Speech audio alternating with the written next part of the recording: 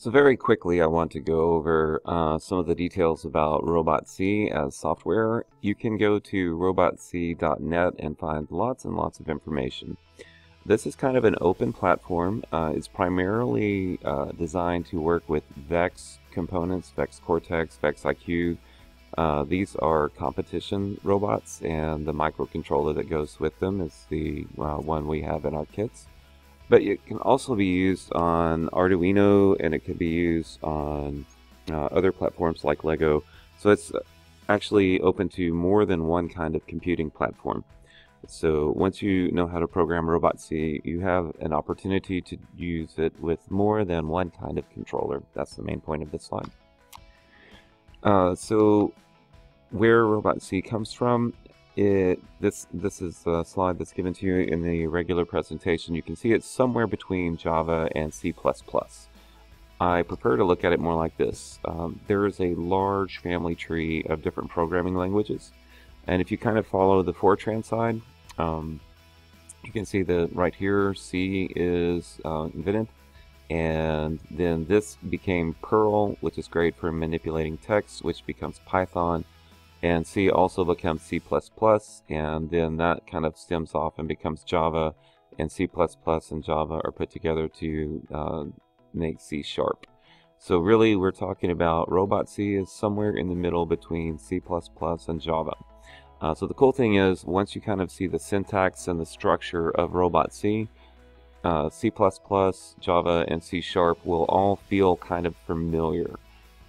So as far as programming languages, you if you wanted to be a programmer, you know, skilled at coding, uh, you wouldn't have to learn all 2,400 languages. If you learn one of the major languages really, really well, let's say like Java or C Sharp or C++, uh, that gives you a functional understanding of how programming works, how computers work, and then just moving to a different programming language, you just have to learn the syntax. It's like learning the nouns and verbs to make the programming language work. So if you really want to be a good coder, get in one and master it. And when you've mastered that, then you will have a good grip on programming in any kind of language.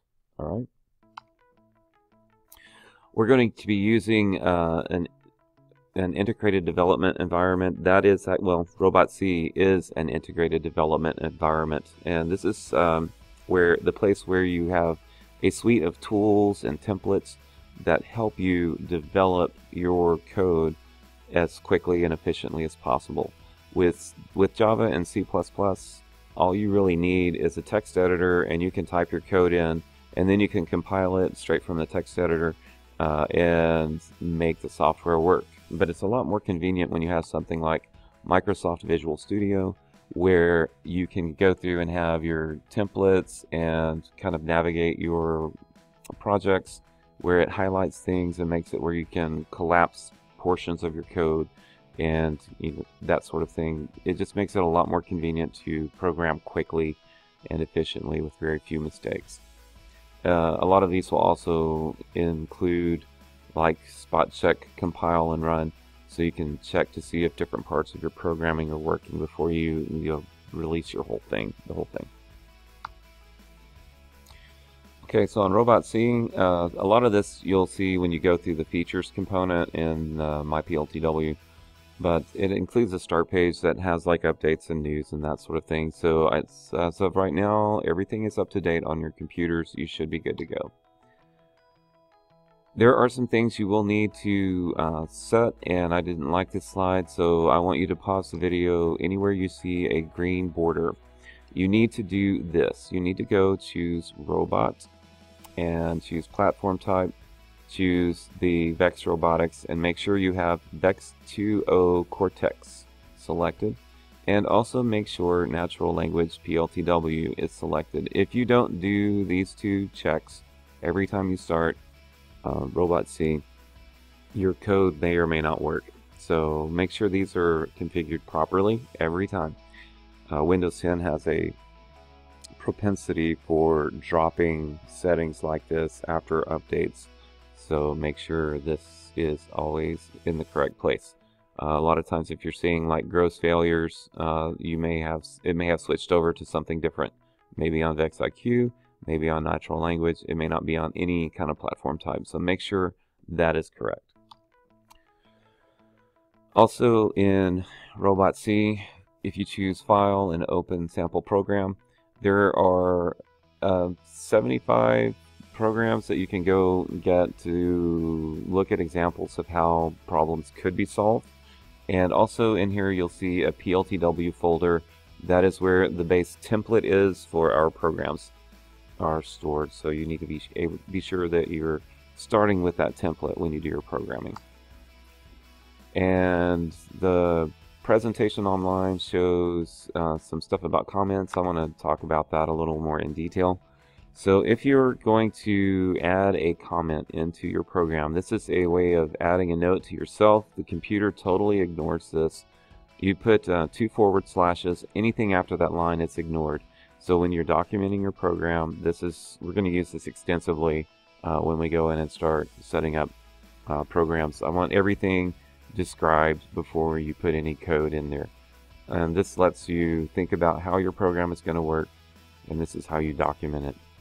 Another thing you can do with this is at the end of a command like this is a while loop that's watching a sensor to be between a certain number of degrees. And if you want, you can go to the end of that line, add the two forward slashes, and then everything after that is ignored. So you can put on the same line a note about what this line of code does. This helps you troubleshoot a lot, especially if it's a program you haven't looked at in a while. You can open it up and go, oh, okay, that's what that's doing. Because sometimes it's not immediately evident what's happening when you um, open your code up.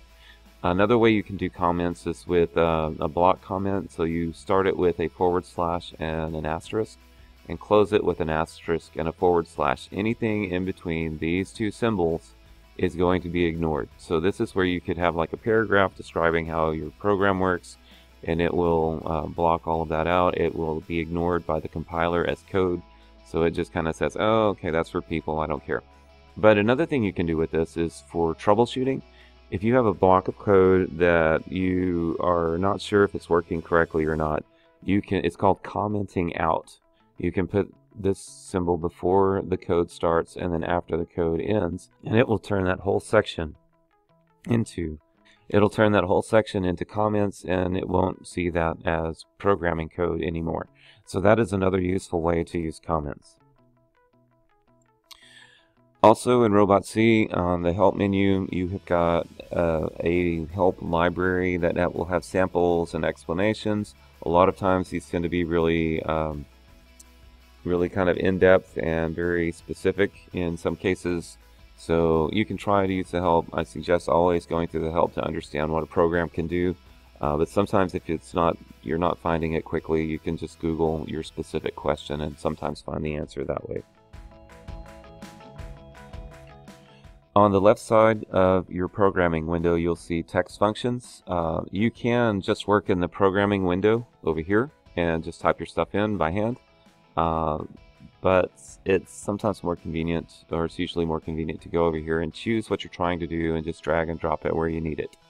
So um, this just is part of the integrated development environment that makes your job easier. All right, the menu level you can play with this if you want, but I'm going to set, suggest that you set the menu level to basic for now. And what this does is it will reduce the menus to just the essentials of what you need. If you outgrow this or you want to, there's something you're looking for that you're not seeing, you can bump it up to expert or super user. I'll leave that up to you. My counsel is start with basic until you outgrow it. So to do that, window, menu level, basic. Alright, when you start a program, uh, and something I neglected to say yesterday was that you need to start with the my P or the PLTW template from the sample programs and then save it as your program name. Uh, also, I will specify that you include a folder in your documents called Robot C Work and put all of your programs in there so they're easy to find. But once you're in a program, you'll get a button that says Motor and Sensor Setup, and I'll be giving you a list of things to do with that for the test bed so you can go in and manually enter uh, where the motors are, where the sensors are, and that sort of thing. Uh, you have to do this kind of configuration when you're doing your programming, because if you're if the brain doesn't know what it's connected to, it can't respond to input or generate output properly.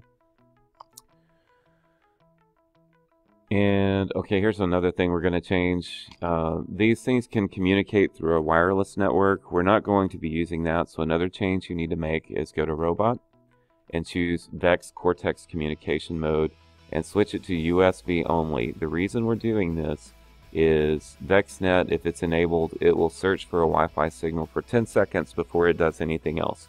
So if you don't have the Wi-Fi set up, it's going to delay your communication by 10 seconds every time you do something. So make sure we have USB only. We're going to just use the cable.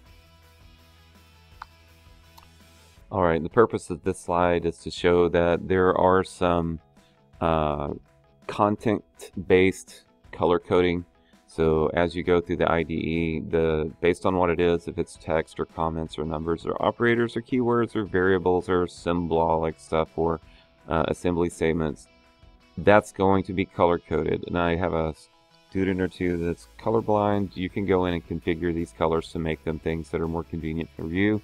Or you could just say, uh, let me just read what it is. But the color coding helps you uh, recognize errors. Like if you know it's supposed to be a keyword, but you misspelled it, it will be the wrong color. So that will help. All right, for further information, visit robotc.net or vexrobotics.com. That's all I have.